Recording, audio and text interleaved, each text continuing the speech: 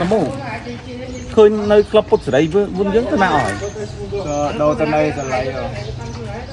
ទៅទាំងអស់ឬក៏ទៅតែយើងទេទៅបានទៅអ្នក2នាក់បងខាងសរុនថាសរុនជាមួយយើងបាទអឺក្លឹបនោះមានន័យថាគាត់បិទហើយឬក៏យ៉ាងម៉េចគាត់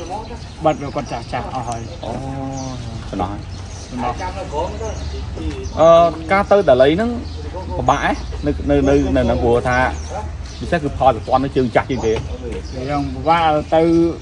ទៅទៅទៅបងគាត់ធ្វើបាបគាត់វាយវាយខ្លាំងខ្លាំងផលប្រព័ន្ធធ្វើបាបវាមិនវិញគាត់សំមួយយើងអញ្ចឹងមើលគាត់ចង់ឲ្យយើងអដែរតែគាត់វាយយើងវាយព្រាមខ្លាំងខ្លាំងដែរហ្នឹងបាទ ចុះចុះអាការឡំមួយគាត់ហ្នឹងកូនគាត់បបោឡំដែរមានក៏យ៉ាងម៉េចដែរហ្នឹង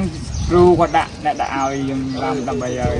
យើងខានវាយយូរអញ្ចឹងដាក់ឲ្យយើងវាយឲ្យរឹងតិចអញ្ចឹងនៅពីមុនដែលយើងអត់តន់ទៅអត់មានអ្នកឡំជាមួយផលប្រព័ន្ធទេឬក៏យ៉ាងម៉េចមានតែក្មេងៗវាវាយវាទៅវាបានពួកយើងទៅយើងអទៀតបានមើលអអអមិនអត់បាន បានបងមកខ្ញុំធូរតិចបងអើយប៉ុនឡាំមកក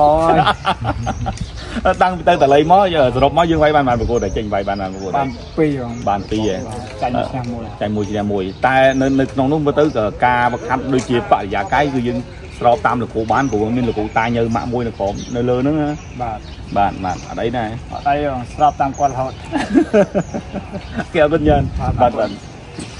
ភេសជ្ជៈបើកម្លាំងគ្រុតទទួលយកធម្មពលជា មួយគ្រុត